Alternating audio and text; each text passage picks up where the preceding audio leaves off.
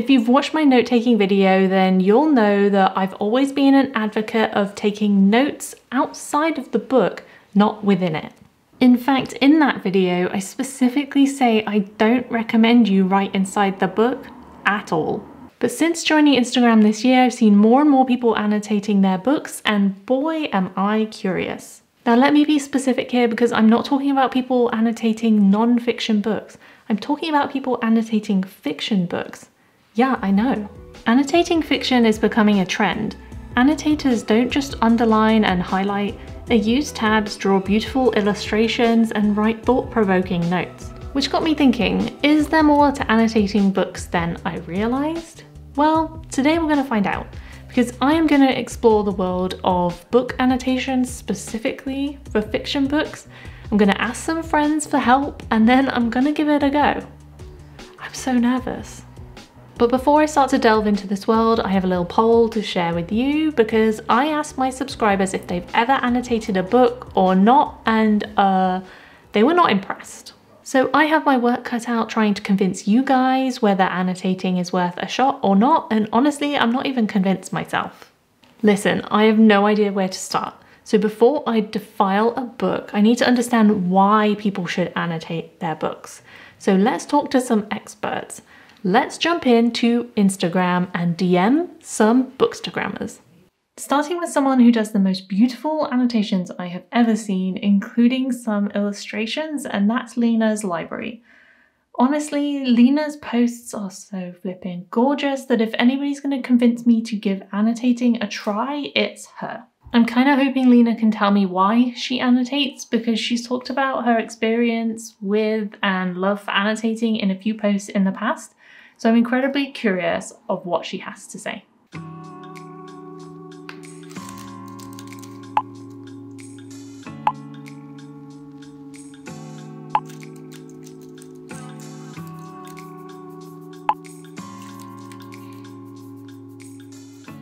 So Lena seems to say that annotating for her is like a form of expression. And as somebody who journals daily, that sounds pretty great to me and maybe something that I might actually enjoy. So there's somebody else I want to try and DM really quickly, and that's yours truly, Julieta, who I've been following for a while, and I really love her annotations as well. They're so satisfying looking and they're more word based, but still beautiful. So, I mean, if you look at these, come on, aren't you a little curious?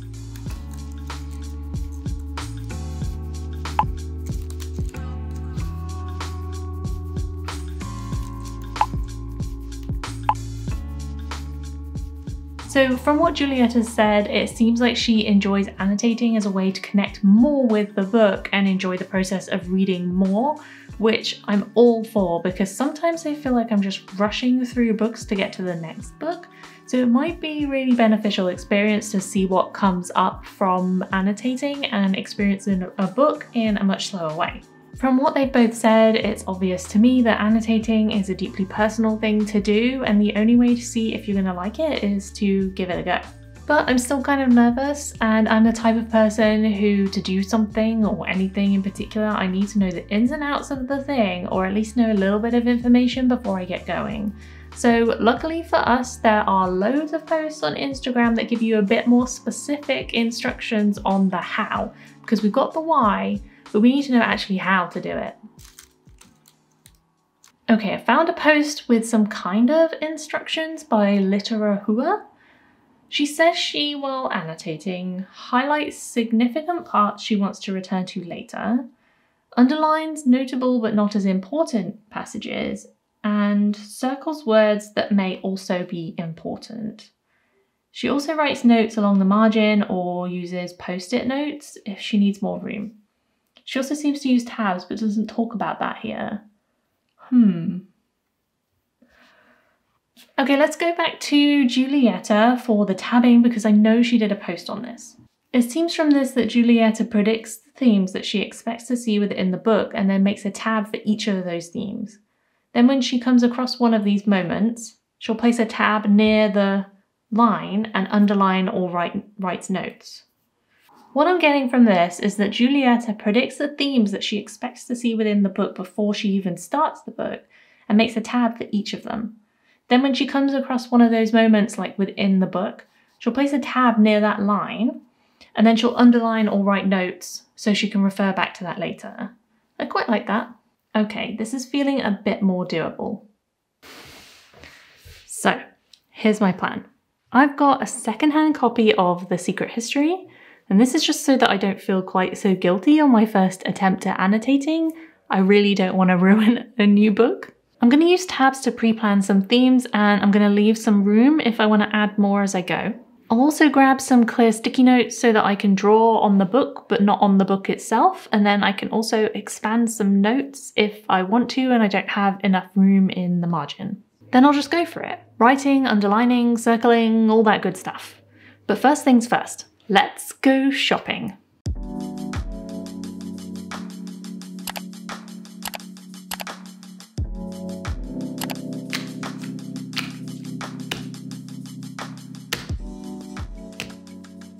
Okay, so I have all of my stuff.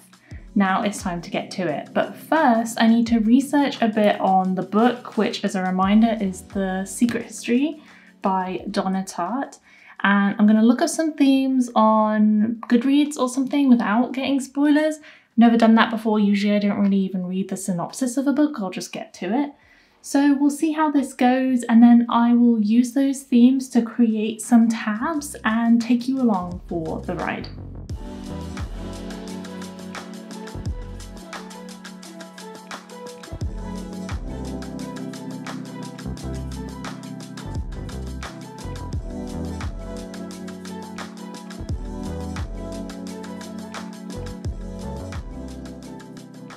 Okay, I'm done with my research and putting together my tabs and that didn't take nearly as long as I thought it would.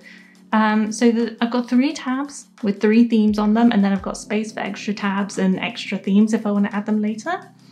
Um, the first one is ancient Greece because I am a particular fan of ancient Greece and Greek mythology. So if there are any themes in the book, then I want to underline those. Then I have social class, which is also very interesting to me.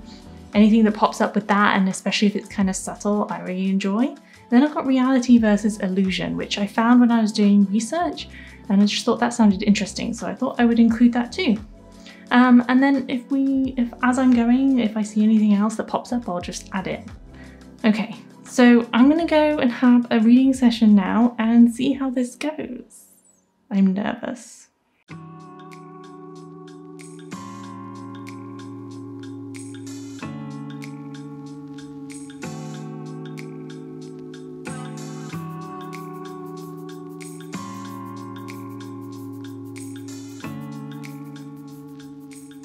So I've just finished my little reading session. I think I've done enough to um, talk to you guys about it and then I'll just carry on. Um, I got about this far through the book and one of the things that I noticed was that this pen that I bought, I specifically bought it to write on the transparent sticky notes because apparently everything else just rubs off. Um, but obviously it goes through the pages in the book. I should have predicted that. So I've been using this my normal ballpoint pen and that works fine. Um, also, I ended up adding an extra tab already to just be beautiful writing because um, I'm really enjoying the book so far and the writing is really good. So I thought it would be um, useful for me in the future if, you know, I want to get back into writing that I can kind of refer back to some of these really good passages or lines or use of words that I really enjoyed. Um, but one of the things I did find was that like you can see I've made two tabs here. Um, and the first one was easy because it's literally like a um, quote at the start. It was like about ancient Greece. So that was easy to kind of um, mark. But then later on, I had a bit where it was kind of talking about social class. And I only thought about it being like a tabbable thing after the fact. So I had to go back and then do the tab. So there might be some of that where I'm kind of getting used to the idea of annotating. And then actually I did a little bit of writing within the book itself, but that was kind of weird for me. And the writing that I did was just kind of like an opinion. So that might get easier too as I go. We'll just have to find out. So I'm going to keep going and um, we'll see how we get on.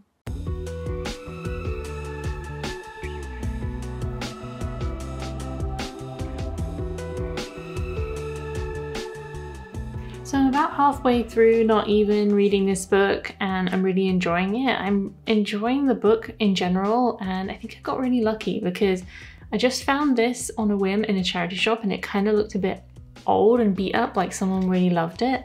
So I just thought that it would make perfect material to do the annotating uh, video on. And it just so happens that this book actually makes for a really good annotating first try, mostly because there's so many references to so many things in, you know, Latin or um, Greek mythology or ancient Greece in general, little clues left throughout that you can kind of pinpoint, and also a lot of beautiful writing that you can also pinpoint if you want to. So it just made for a really good first try. Now, I'm not sure if this would work quite as well in, say, a YA fantasy if I was reading that. Um, I think the kind of books that work well for annotating, for me anyway, are ones that really make you think and want you to go back to and reread to see if you picked up on different things and what you picked up on the first time. So for example, like something like Gideon the Ninth might work well for annotating because there would be things within that book that you'd spot the first time round. And then the second time round, you might not spot them or you might spot other things too, and that would be really fun to see. So this book was a really great opportunity to try that particular thing out. I'm gonna do one more big session of reading, see how far I can get, and then regardless of if I finish this book or not for this video, I'm gonna give you my final thoughts tomorrow. This is how far I've gotten. I have to say, reading and annotating The Secret History has been really fun. I can see why it's such a popular book. And after I got over my initial squeamishness of writing inside of the book, it became a lot more free flowing. I'd write my reaction to things that were happening, any guesses I might have for what was coming. I'd highlight beautiful writing, Greek mythology mentions. It was fun. I almost felt like I was experiencing the book differently than I would have if I wasn't annotating in it.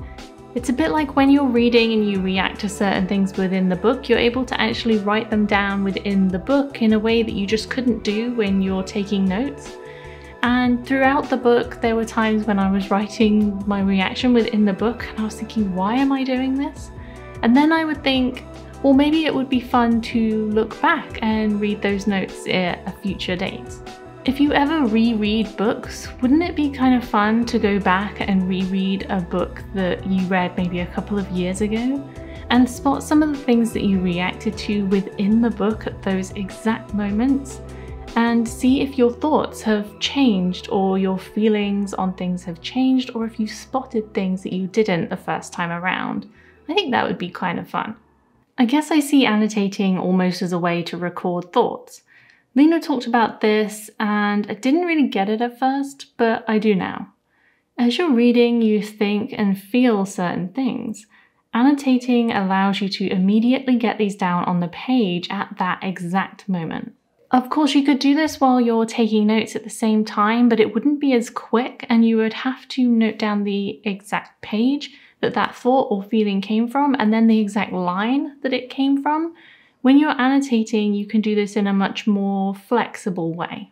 Having said this, if you're writing notes for like an academic purpose or something, I still feel like writing notes outside of the book would be more useful because it's a more practical way of then transforming those notes into something usable for academic purposes. But if you're just annotating a book for the fun of it or for you to look at later as a leisure thing, then annotating within the book seems like quite a nice thing to do.